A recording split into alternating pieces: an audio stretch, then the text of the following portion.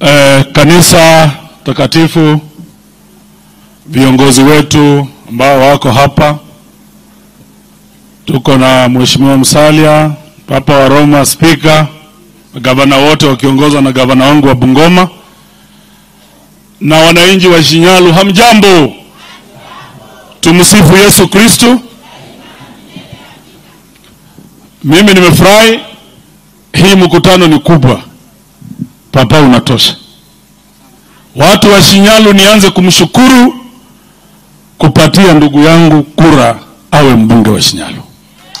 Mlipigia ndume akiwa huko bunge akiguruma, hata papa spika anajua iko maneno Shinyalu imeingia bunge ya Kenya. Nataka kumwomba kwa hii maendeleo anafanya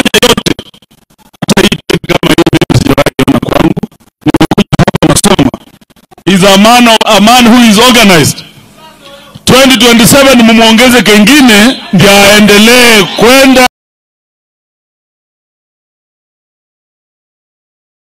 na aende. Mimi nimekuja hapa tu kumsupport. Leo hatuna mambo mengi ya siasa. Naona mheshimiwa Nyamita anasema Waluya wakiungana sijui Kenya. Unajua wameonja prime minister huyu Nyamita, mpaka saa hii ile prime minister ya Kenya wako nayo ni hao. Hii Cheriot wamekula hii kitu sasa mara mbili. Hii hao watu ma, marafiki zetu wengine kinaichungwa amekula sijui hata mara kumi. Sasa sisi mwache tu tujipange kama Waluya, tuonje tu hata siku moja jameni. Na hiyo mambo ni mbaya kweli Waluya. Bas, mimi namuomba ndugu zangu Musalia, Weta, shika kamba, sisi tuko nyuma yenu. Wakiweka tunaweka, sio? Ni sawa?